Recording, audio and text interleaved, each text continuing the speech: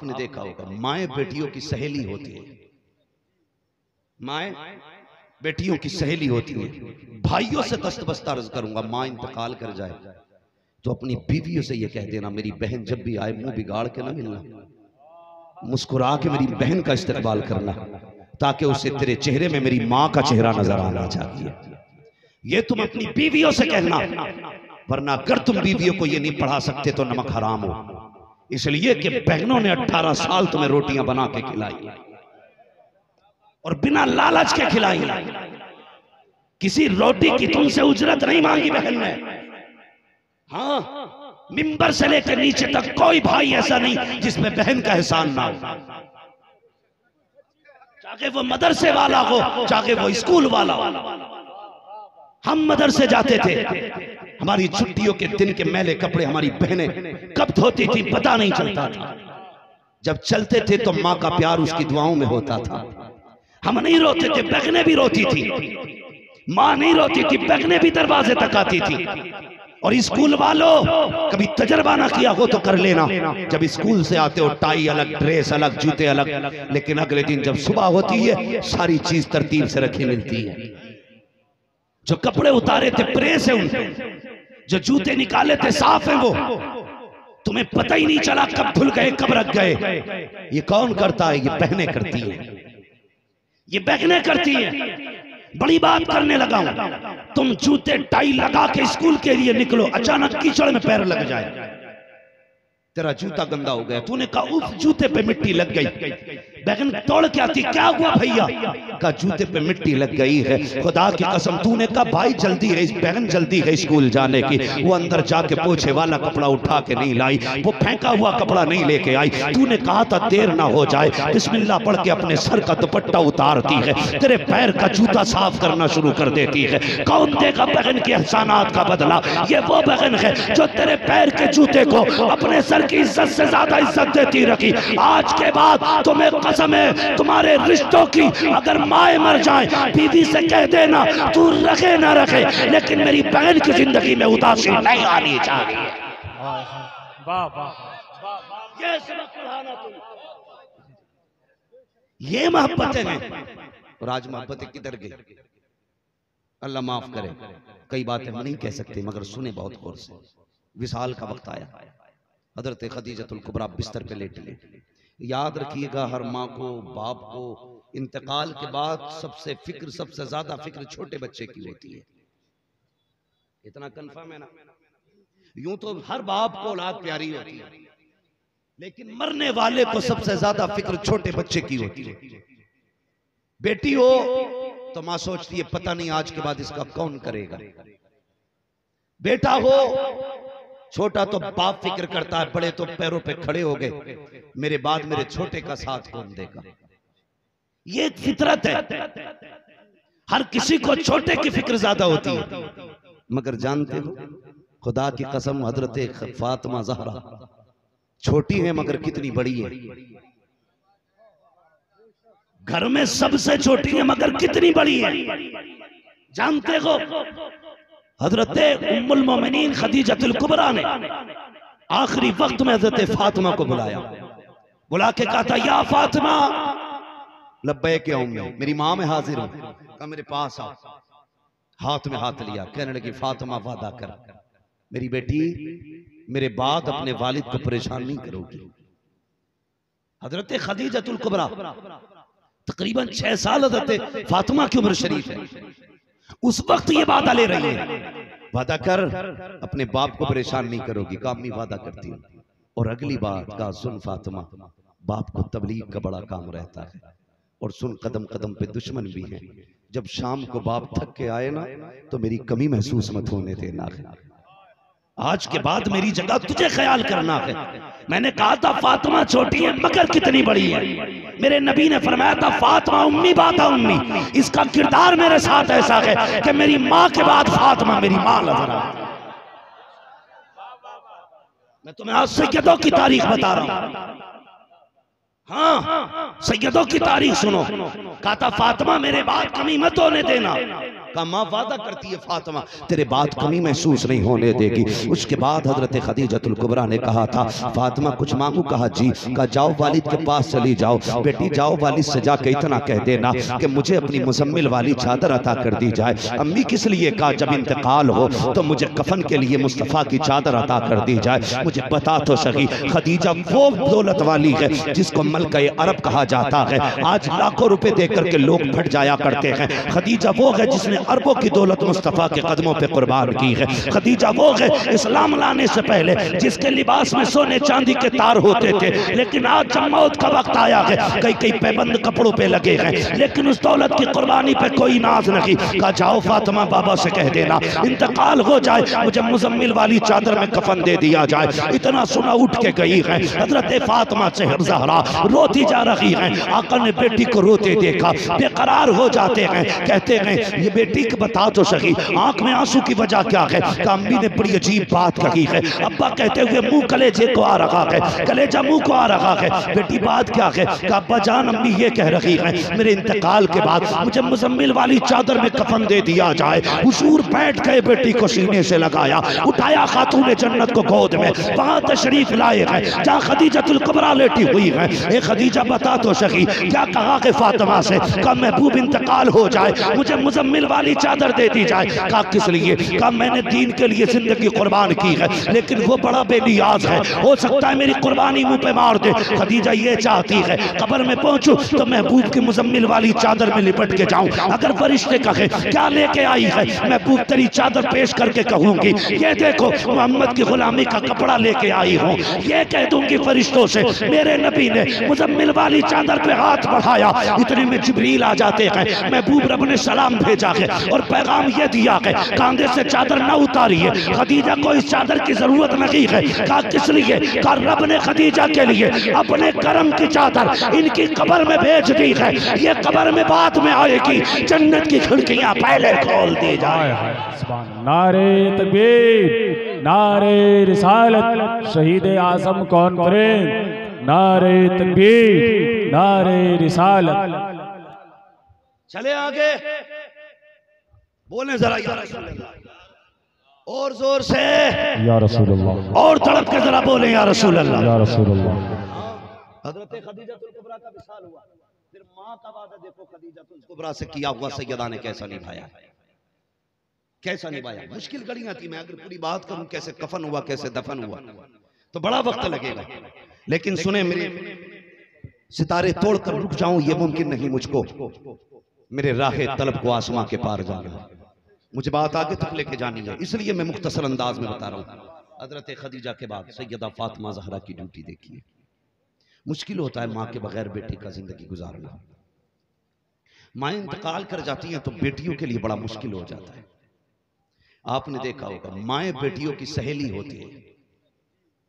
माए बेटियों की सहेली होती है। भाइयों से दस्त बस्ता अर्ज़ करूँगा, माँ इंतकाल कर जाए। तो अपनी बीवियों से ये कह देना मेरी बहन जब भी आए मुँह बिगाड़ के ना मिलना। मुस्कुरा के मेरी बहन का इस्तेमाल करना ताकि उसे तेरे चेहरे में मेरी माँ का चेहरा नज़र आना चाहिए ये तुम अपनी बीवियों से कहना वरना अगर तुम बीवियों को ये नहीं पढ़ा सकते तो नमक हराम हो। इसलिए कि बहनों ने 18 साल तुम्हें रोटियाँ बना के खिलाई। और बिना लालच के खिलाई। किसी रोटी की तुमसे उजरत नहीं मांगी बहन ने हाँ मिंबर से लेकर नीचे तक कोई भाई ऐसा नहीं जिसमें बहन का एहसान ना हो। चाहे वो मदरसे वाला हो चाहे वो स्कूल वाला हो। हम मदरसे जाते थे। हमारी छुट्टियों के दिन के मैले कपड़े हमारी बहनें कब धोती थी पता नहीं चलता था। जब चलते थे तो माँ का प्यार उसकी दुआओं में होता था। हम नहीं रोते थे, बहनें भी रोती थी। माँ नहीं रोती थी, बहनें भी दरवाजे तक आती थी। और स्कूल वालों कभी तजर्बा ना किया हो तो कर लेना। जब स्कूल से आते हो टाई अलग ड्रेस अलग जूते अलग लेकिन अगले दिन जब सुबह होती है सारी चीज़ तरतीब से रखी मिलती है। जो कपड़े उतारे थे प्रेस है उनके जो जूते निकाले थे साफ़ है वो। तुम्हें पता ही नहीं चला कब धुल गए कब रख गए। ये कौन करता है? ये बहनें करती है। ये बहनें करती है।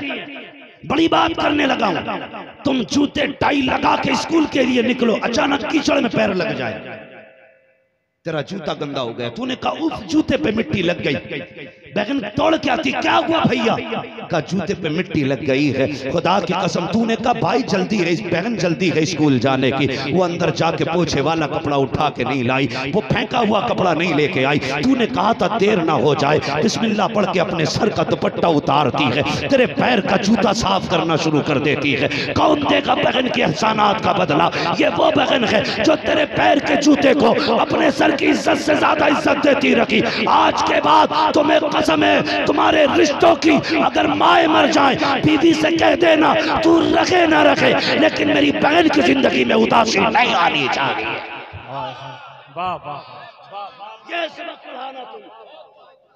माओ के बगैर बेटियाँ बड़ी अकेली हो जाती हैं। बड़ी अकेली हो जाती है। मैं गलत नहीं कह रहा हूँ। मैंने बहनों को माँ को याद करके रोते देखा है। माँ को याद करके रोते देखा है। माँ माँ नहीं होती, माँ सहेली होती है बेटी की। माँ राजदार होती है बेटी की। जो बात वो किसी से नहीं कह सकती, वो माँ से कह लेती है। और माँ के बगैर इतनी अकेली हो जाती है, अपने घर के लोग उसके दुश्मन हो जाते हैं। भावियों के इल्ज़ाम, भाइयों की सख्तियाँ, वो मौत को गले लगाना चाहती है। कितनी बेटियाँ इसलिए घर छोड़ के भाग गईं कि उन्हें अपने घर में अपनों का प्यार ना मिला। ये दिल रब ने प्यार के लिए बनाया माजरत के बुरा ना मानो। मेरी कोई गलत नीयत नहीं है, लेकिन मैं जहन में एक बात डालना चाहता हूँ। ये दिल रब ने प्यार के लिए बनाया है। इसमें किसी ना किसी का प्यार ज़रूर होता है। या तो इसमें माँ का प्यार होगा, या बाप का प्यार होगा, या भाई का प्यार होगा, या बहन की मोहब्बत होगी। ये दिल प्यार के लिए है। ये प्यार के बगैर एक पल नहीं रह सकता। चैलेंज है मेरा। ये प्यार के बगैर एक पल नहीं रह सकता। जिन बच्चियों को घर में माँ का प्यार नहीं मिलता, बाप का प्यार नहीं मिलता, भाई का प्यार नहीं मिलता, अपनों का प्यार नहीं मिलता, और बागर वाला काना, कुतरा, लूला, लंगड़ा, महजे में मोहब्बत से बात कर लेता है, उसे उसमें प्यार दिखाई देता है, फिर वो सब कुछ छोड़ के लूले, लंगड़े के साथ चली जाती है, अंधे के साथ चली जाती है, निकम्मे के साथ चली जाती है, झाड़ू मारने वाले के साथ चली जाती है, क्या देखा? दुनिया कहती है, मैं समझ जाता हूँ, इसने दौलत नहीं देखी हुस्न नहीं देखा घर वालों ने प्यार नहीं दिया इसलिए किसी भी ऐरे ऐरे के साथ चली गई। इसलिए मैं कहूँगा बेटियों को इतना प्यार दिया करो कि किसी का भी प्यार कम लगे। वाह वाह इतना प्यार तो बेटियों को कि इन्हें किसी का भी प्यार कम लगे। किसी की भी मोहब्बत कम लगे। मगर मैं इतना बेटियों से ज़रूर कहूँगा मैं चैलेंज के साथ कहता हूँ। तेरा कोई भी गुड्डू पप्पू तेरा कोई भी सोनू मोनू तीन तीन बजे तक तुझे कॉल करने वाला इतना प्यार नहीं कर सकता जितना तेरा बाप तुझसे प्यार करता है। चैलेंज है। मेरा। जितना तेरा बाप तुझे इज़्ज़त दे सकता है कोई नहीं दे सकता। ये गुड्डू तेरा पप्पू तेरा लल्लू ये तुझे तीन महीने तक रानी बना के रखेगा। उसके बाद तुझे कुत्ते की तरह रखता है। मगर सलाम कर उस बाप को, जिसने बिना मकसद के तुझे 18 साल सीने से लगा के पाला। जिसने बिना लालच के 18 साल मजदूरियाँ करके तेरे ख्वाब पूरे किए, वो जानता था इसे प्रदेश चले जाना है। वो जानता था ये वो परिंदा है, जो 18 साल के बाद उड़ जाएगा 25 साल के बाद उड़ जाएगा। लेकिन फिर भी खुदा की कसम, इसने तेरा हाथ नहीं छोड़ा, इसने तुझसे नज़र नहीं फेरी। जानती है कभी बाप को समझना है तो ऐसे समझना। कभी देखना बाप के दस साल पुराने कुर्ते निकाल के, उसमें पैबंद लगे होंगे। बाप उन्हीं कपड़ों को ये कह के पहनता है, बेटी हल्के हो गए गए इसमें गर्मी नहीं लगती है। वो कभी ये नहीं कहता है, बेटी तेरे हाथ पीले करने की फ़िक्र कपड़े बनाने नहीं देती। उसके जूते देखना, वो टूटे हुए जूते सिल के पहनता है। अब्बा नहीं क्यों खरीद नहीं लेता? वो कहता है, बेटी, क्या करूँ? पुराने जूते हैं, इसमें राहत से मिलती है, इसलिए नए नहीं खरीदता। नहीं, खुदा की कसम, राहत नहीं है, सबका दिल नए चाहता है। लेकिन जब से बेटी घर में आई है, बाप ने घी खाना छोड़ दिया, बाप ने दूध पीना छोड़ दिया। बीवी कहती, सरताज क्यों नहीं पीते हो? दूध क्यों छोड़ रखे हो? बूढ़े हो जाओगे। ये बेटी का चेहरा चूम के कहता था, अब दूध की क्या ज़रूरत है? मेरी बेटी आ गई है जिस दिन इज़्ज़त से रुखसत कर दूँगा, उस वक्त दुनिया का बड़ा पहलवान कहलाऊँगा। ये सोच के इसने खाना छोड़ दिया था। वो बेटी, तुझे क्या पता है? इसकी टोपी के पैबंद तू देख लेना। इसने पैबंद लगी टोपी तो पहनी है, लेकिन तेरे दुपट्टे पे पैबंद नहीं आने दिया। इसने फटे कपड़े तो पहने हैं, लेकिन तेरे बदन को नंगा नहीं होने दिया। ये फाके तो रखा है, लेकिन कभी तुझसे गैर के बर्तन नहीं धुलवाए हैं। ये बाप है तेरा, जो तुझे देख के जीता रहा, तुझे देख के मुस्कुराता रहा। वो यार कितनी बड़ी कुर्बानी बाप की है। लोग कहते हैं, क्या दे दिया है? मैं कहता हूँ चैलेंज के साथ, जिस बेटी को बाप स्कूल अकेले नहीं जाने देता डॉक्टर तक अकेले नहीं जाने देता, आधे दिन के लिए नज़र से ओझल हो जाए, बाप बेकरार हो जाता है। कुर्बानी को सलाम है उस बाप की, जो एक मिनट के लिए बेटी को अकेला नहीं होने देता। कितनी बड़ी कुर्बानी उसने दी है, अकेला अजनबियों के घर में भेज दिया है, जहाँ पे कोई अपना नहीं है, कोई जान पहचान का नहीं है। एक नए घर में बेटी जा रही है। खुदा की कसम, कभी दामाद का हाथ पकड़ के कहता है, मेरी बेटी का ख्याल रखना। कभी समझी से कहता है, मेरी बेटी तेरी बेटी है। कभी सास से कहता है, मेरी इज़्ज़त तेरी इज़्ज़त है। जब सब चले जाते हैं, हाथ उठा के बाप रो के कहता है, मालिक मेरी बेटी अजनबियों में गई है। ए मेरे मालिक, मेरी बेटी का नसीब अच्छा कर देना। ये रातों को रो के कहता है, या अल्लाह, मेरी बेटी को इज़्ज़त के दो लुकमे खिला देना। और तुझे क्या पता बाप क्या है? खुदा की कसम, तू तो ऐश के साथ बिस्तर पे जाती है, मगर ये रात भर रोक है, तेरी भलाई की दुआएँ माँगता है। आज जो सुख की साँसें ससुराल में रहती है, ये तेरा कमाल नहीं, ये तेरे बाप की रातों की दुआओं का कमाल हो। नारे तकबीर, नारे रिसालत, शहीद आज़म कॉन्फ्रेंस, हज़रत अल्लामा मुफ्ती हमाद साहिब किबला, नारे तकबीर, नारे रिसालत। अल्लाह सलामत रखे। बेटियों, तुम्हें बाप से ज़्यादा प्यार कोई नहीं कर सकता। और नौजवानों, मैंने कहा था कभी माँ की कमी बहन को महसूस मत होने देना। बहन, कितना करना है? कितना करना है? मेरी बहनों, आज तुम किसी के घर की बहू हो, कल तुम्हारी बेटी किसी के घर की बहू बनेगी। हम दमाद से तो कहते हैं कि सोने के लुक में खिलाएँगे, लेकिन दूसरे की बेटी को नौकरानी बना के रखते हैं। हर घर की यार, ये फरियाद है। ये कान पक गए सुनते सुनते। कभी कभी अकेले में रोना आता, उम्मत को क्या हुआ? अपनी बेटियों की इज़्ज़त के दुश्मन हो गए हम। अपनी बेटियों पर दस्तरखान तंग कर दिया हमने। रोना आता है जिसने काफिरों की बेटियों को इज्जतें दी थी।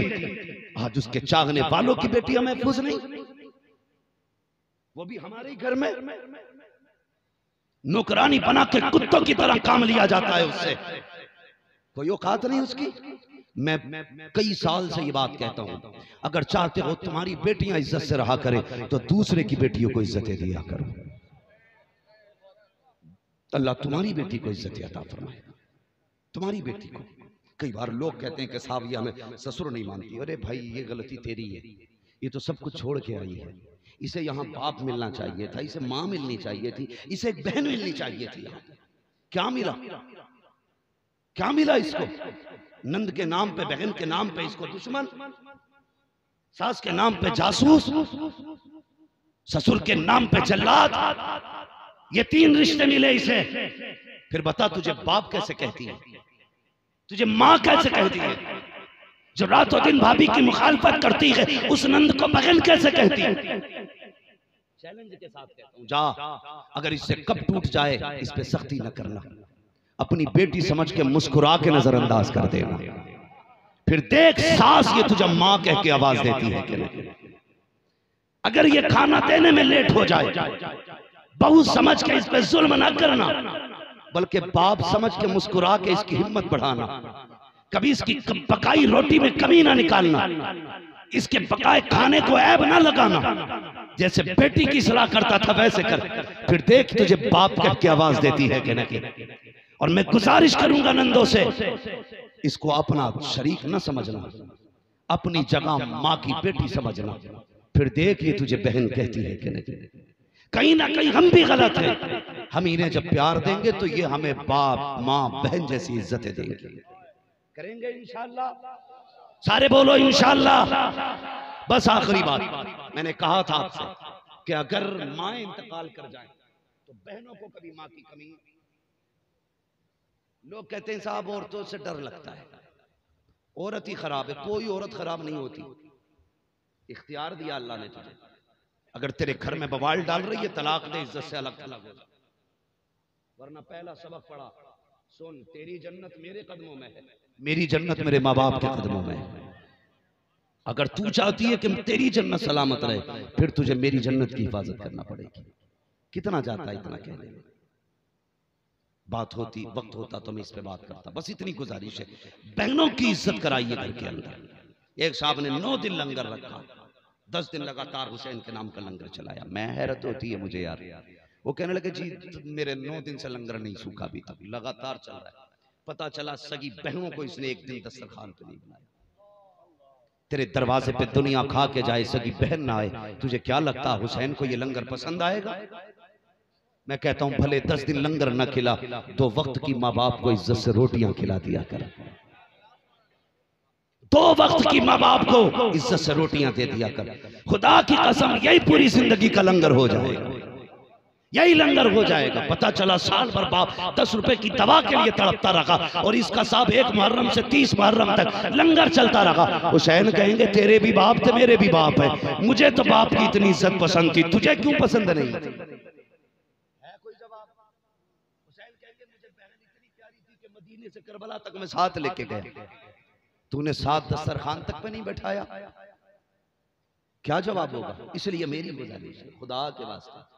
माने मेरी बात, बहनों की इज़्ज़त करनी है। यही पैगाम है हुसैन।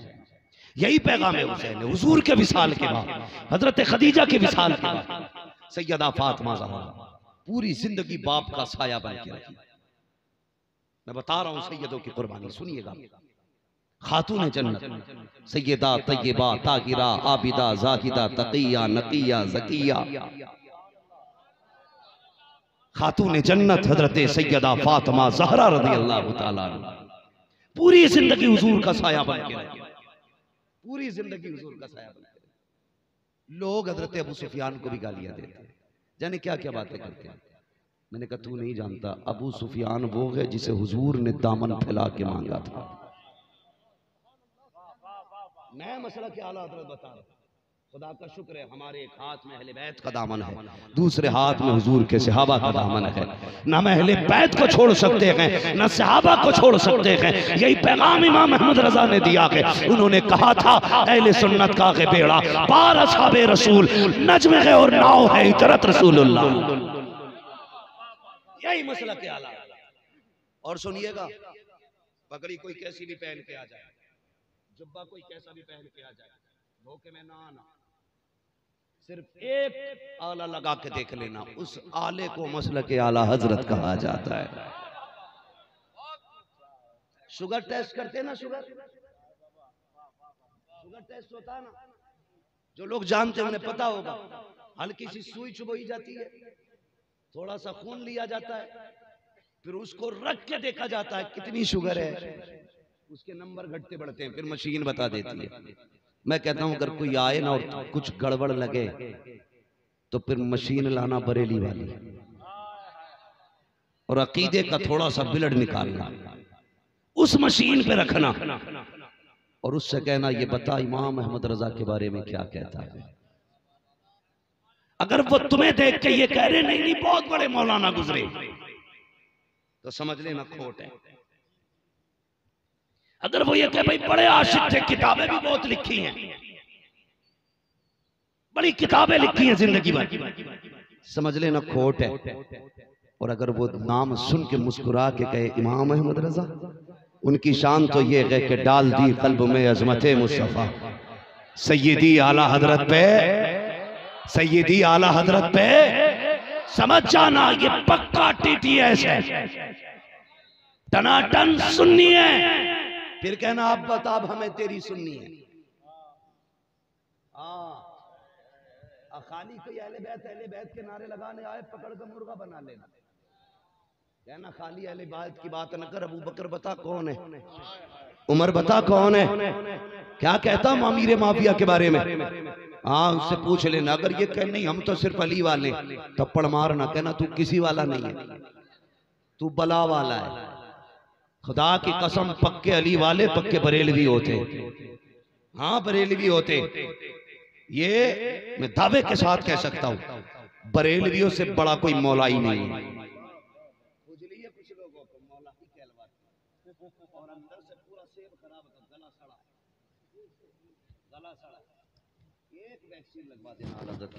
सात पुश्तों तक रफ्जी पैदा नहीं होगा। हाँ, हाँ। नहीं पैदा। बचना ऐसे लोगों से।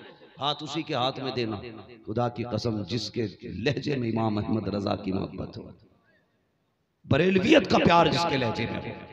इसलिए ऐसे शख्स तो किसी भी ऐसे शख्स के हाथ में हाथ में कौन है मेरे माँ हज़रत अबू सुफियान। ठीक है? बता दो इनके हवाले से। लोग गालियाँ देते नसब का सहारा लेकर। होश में रहे। होश में रहे। ये वो हैं जिन्हें हुजूर ने झोली फैला के मांगा था। झोली फैला के मांगा था। वरना तारीख है मक्के की। अबू जहल के साथियों में नाम आता था अबू सुफियान का। उतबा शैफा के साथियों में, अबू लहब के साथियों में नाम आता था। अबू सुफियान का। बहुत बड़े दुश्मन थे हुजूर के। पूरी तारीख पढ़ लीजिए। टॉप टेन में नाम आता था अबू सुफियान लेकिन टॉप टेन में नाइन कुफर पे मरे। सिर्फ़ एक अबू सुफियान ऐसे थे कि जो ईमान में इसकी वजह मुहदसिन मुफसरीन क्या बयान फरमाते सुने एक दिन अबू जहल रास्ते में खड़े होके ना अपने यारों से गप्पे शप्पे मार रहा था। चले नींद तो नहीं लग रही है। मैं नारा लगाता हूँ जरा आप जवाब दीजिएगा।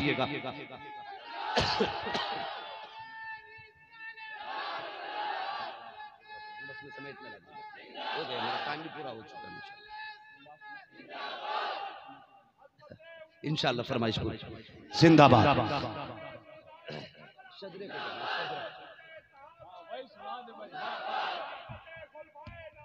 जिंदाबाद जिंदाबाद। यारी माशाल्लाह। तो बुझेल अपने यारों के साथ गप्पे शप्पे मार रहा था। सुने, आज कितने नसीब वाले हो किसकी महफिल में बैठे हो। जब गप्पे शप्पे मार रहा था खातून जन्नत को आते देखा। छोटी थी गुजर के जा रही है। तो हज़रत फातिमा को देख के चिड़ाने के लिए उसने कुछ कह दिया।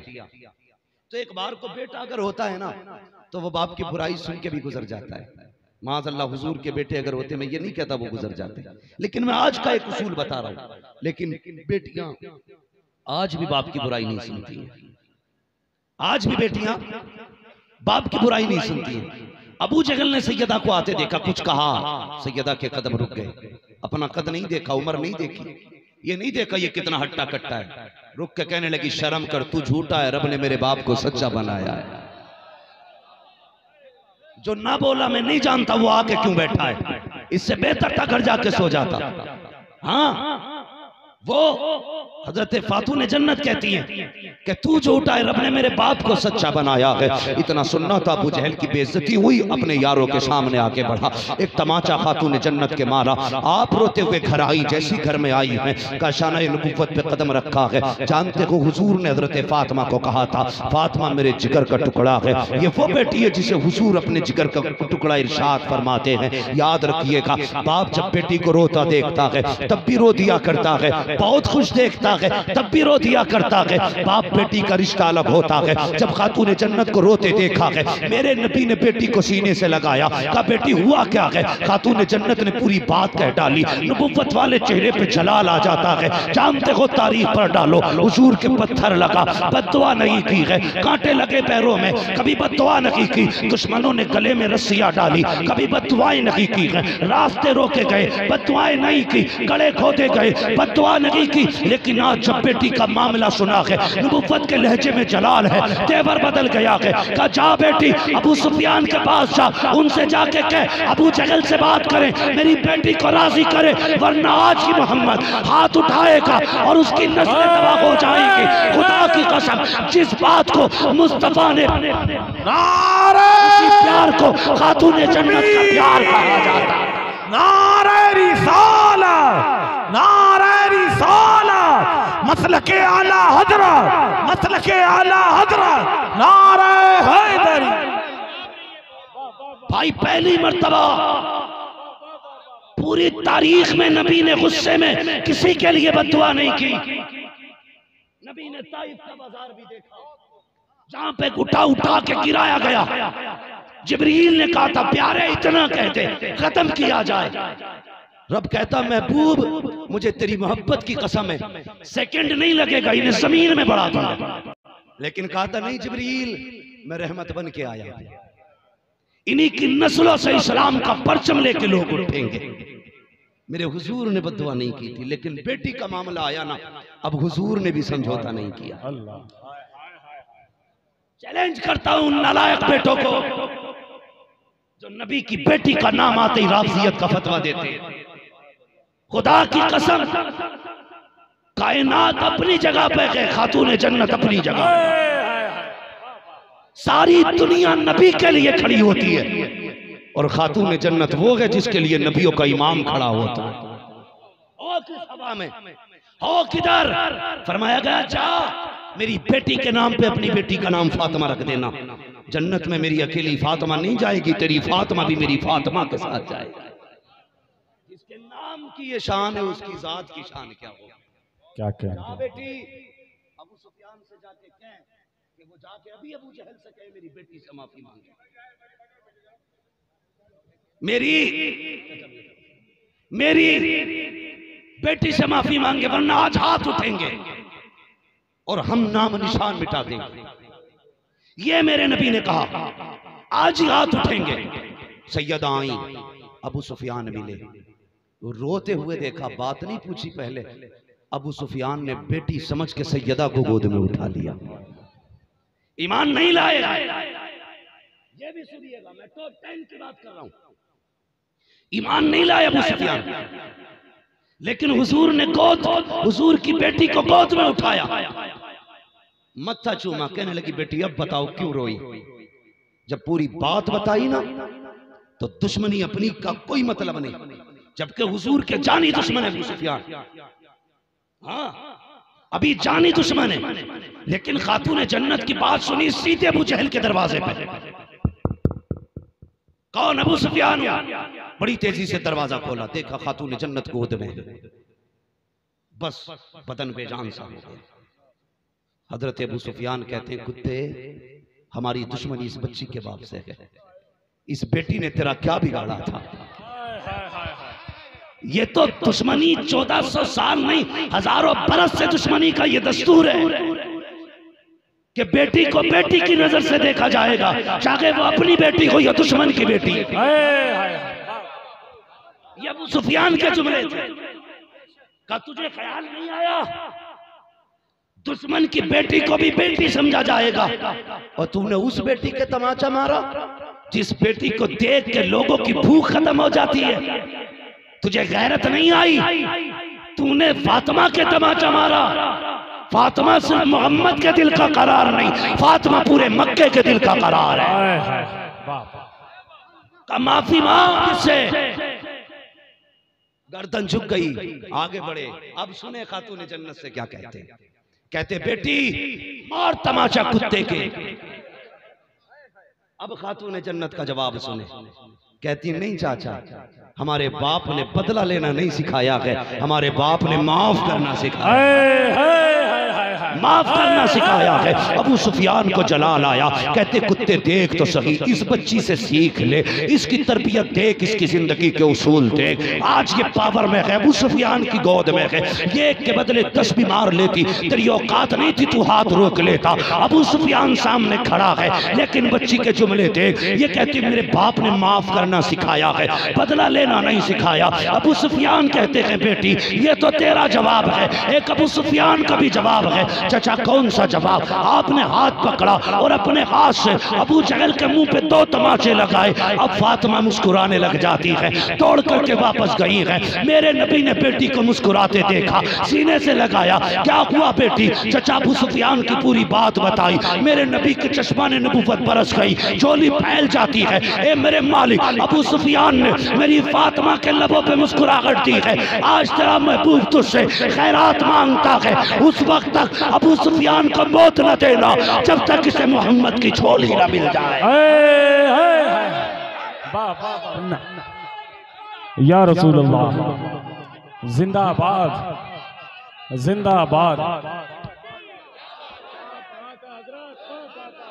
तेरी नस्ल पाक में है बच्चा बच्चा नूर का तू है ने नूर तेरा। सब घराना नूर का। तेरा सब घराना नूर का। ये खातून